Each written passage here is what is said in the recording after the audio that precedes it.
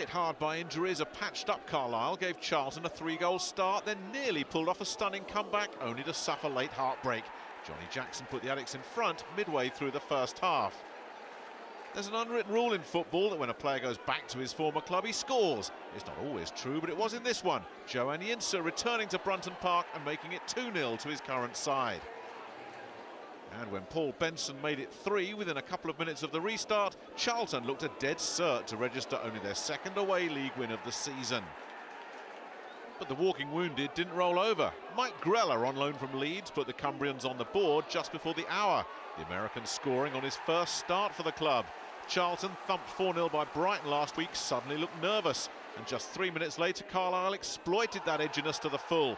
Not much defending going on, and eventually almost a free header for Craig Curran. Carlisle with lots of time to continue the turnaround.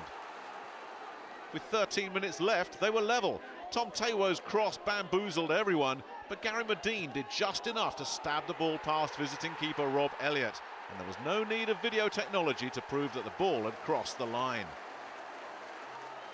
But then, in added time, Benson struck the killer blow with a powerful header, and no time for Carlisle to get back into it. Charlton had pinched it at the death.